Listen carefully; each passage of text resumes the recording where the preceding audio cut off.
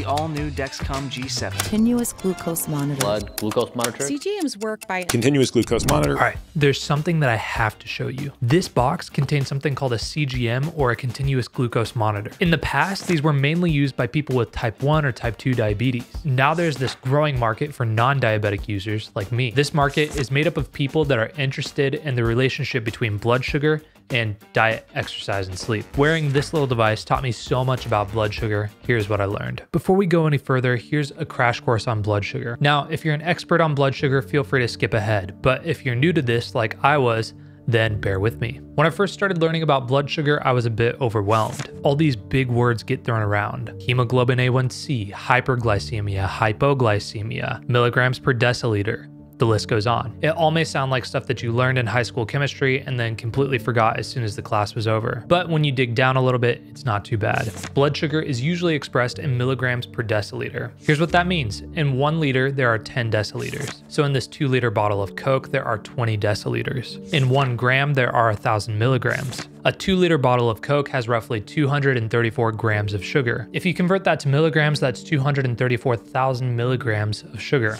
Let's express the sugar content of this bottle of Coke in milligrams per deciliter. In this case, that's 234,000 divided by 20. When you simplify that number, it comes out to 11,700 milligrams per deciliter. Obviously, blood sugar is a little bit different than the sugar found in Coke, but hopefully this gives you an idea about what the language around blood sugar measurement actually means. Now let's take a look at what different ranges of blood sugar mean. Normal blood sugar is anything less than 117 milligrams per deciliter. If you average between 117 and 137 milligrams per deciliter, then you qualify as being pre-diabetic. If your average blood glucose is above 137 milligrams per deciliter, then you have diabetes. As we've discussed in some other videos, if you don't have diabetes, one of your main goals should be to avoid getting diabetes. Another term that gets thrown around a lot when talking about blood sugar is HbA1c or hemoglobin A1c. HbA1c is a way to measure how much sugar or glucose is stuck to the hemoglobin in your red blood cells. Here's why we care about that number. By knowing someone's HbA1c, we can estimate what their average blood glucose was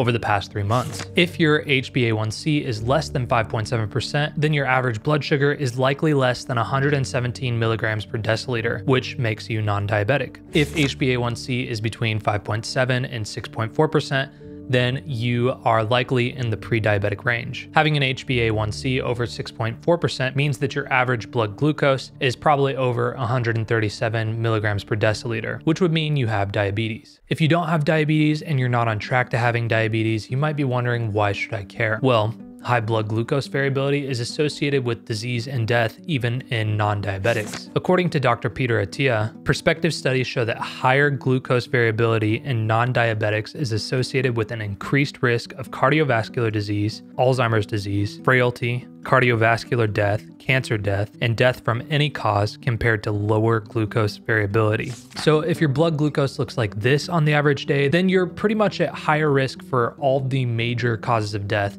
than someone whose blood glucose looks like this. If you want to live a longer and better life like I do, then it's important to pay attention to blood glucose variability and try to reduce that variability as much as you can. Wearing a CGM taught me many things. When I got it, my main goal was to look for insights that would help drive behavior change. Andrew from a few months ago knew that Reese's peanut butter cups were not good for him. What that previous version of me didn't understand is how eating a Reese's peanut butter cup affected him in real time. Over the past year, I've been trying to permanently change my relationship with food. For most of my life, I saw food as a reward or as a way to change how I was feeling. If I was tired from all the studying or work I'd been doing at college, then I would drive to the local coffee shop and buy an iced oat milk latte. If it had been an especially long or stressful day, I would reward myself with a few scoops of ice cream or some mozzarella cheese sticks. For me, the problem was as you grow older, you have more responsibilities and more stress, so you reward yourself more, and then pretty soon you got some unhealthy habits. Unfortunately, the relationship with food that I had doesn't lead anywhere good. Wearing the CGM gave me evidence of this in real time. If I ate a Reese's, then I could literally watch my blood sugar spike and then crash back down again. For me, wearing the CGM gave me evidence saying, hey,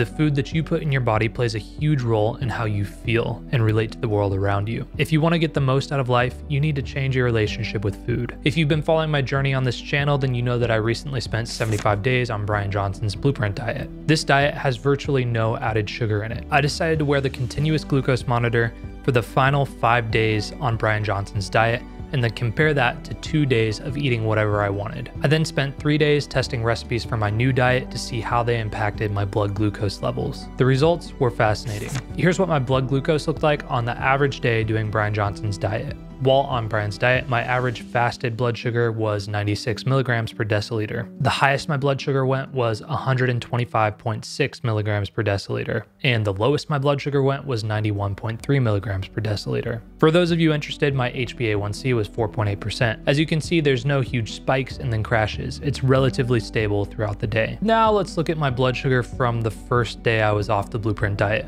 Before we look at the data, let's talk a bit about what I ate during that first cheat day. To preface things, I just want to say I don't recommend that anyone eats like this. I did this for science and to further our understanding of the relationship between food and blood glucose. The day after Blueprint, I woke up and had a Greek yogurt with a ton of added sugar. Then I went to my favorite Mexican restaurant, ate a basket of chips, and devoured a massive queso laden burrito. From there, I had a bag full of mini Reese's and a little Debbie Cosmic Brownie. Just a reminder, this was to further our understanding of the relationship between food and blood sugar. To wash it all down, I had a fruit juice that I mistakenly thought would not spike my blood sugar again. It turns out watermelon has a lot of sucrose in it, so that spiked my blood sugar as well. All this processed madness had me feeling like absolute garbage. Here's what my blood sugar looked like throughout the day. Now let's overlay this graph on top of the graph from the Blueprint diet. There you can see that nice little yogurt spike. There's the chips and burrito, Reese's, brownie, fruit juice, me feeling like garbage. Get the picture? What's crazy is that you can literally see the sugar rush and then the sugar crash. Some of you may be wondering, was it worth it? Yes. No, no. I felt so sick. If you've been following my journey on this channel, then you know that I'm off of Bryan Johnson's diet and I'm on my own diet. My diet did take a lot of inspiration from Bryan Johnson's diet.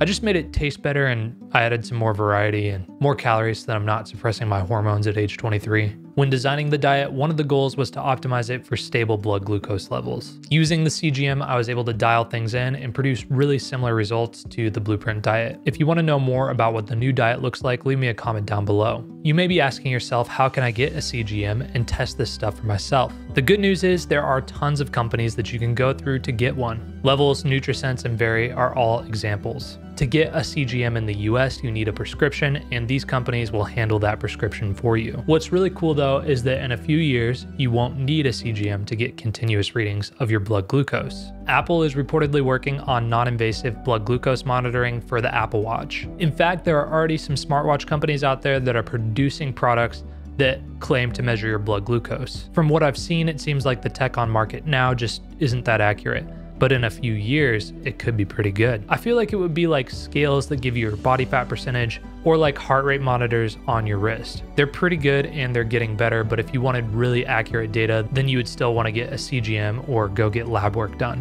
When trying to make lasting change in your life, it's important to understand why you should make that change. And that's exactly what the CGM helped me do. If you enjoy these videos and learning along with me, it would mean so much if you left me a comment and made sure to subscribe. Thanks for watching, and I'll see you in the next one.